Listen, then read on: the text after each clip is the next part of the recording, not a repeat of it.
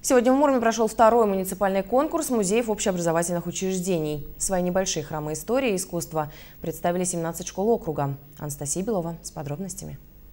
Здравствуйте, гости званые, гости желанные. Милости просим нашу горенку. О русской кухне ученики седьмой школы знают немало. Где готовили, как ели, какими столовыми приборами пользовались наши предки. На создание кулинарного музея в школе ушел целый год. Экспонаты для него собирали всем учебным заведениям. И сегодня своим проектом ребята делятся на конкурсе.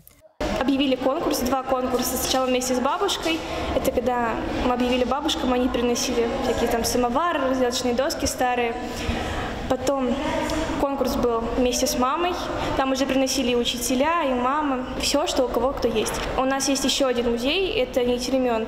Он о Великой Отечественной войне, про старый радиозавод, те, кто раньше учились в нашей школе. Это уже второй окружной конкурс музеев образовательных организаций. В этом году школы представляют свои экспозиции в номинациях «Новое в школьном музее» и «Юные экскурсоводы» – две возрастные категории.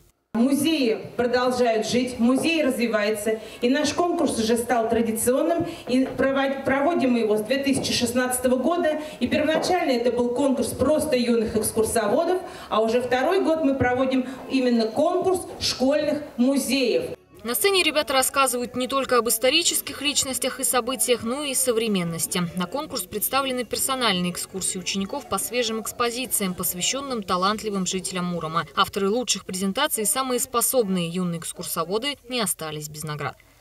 Анастасия Белова, Алексей Капотов. Новости Муром.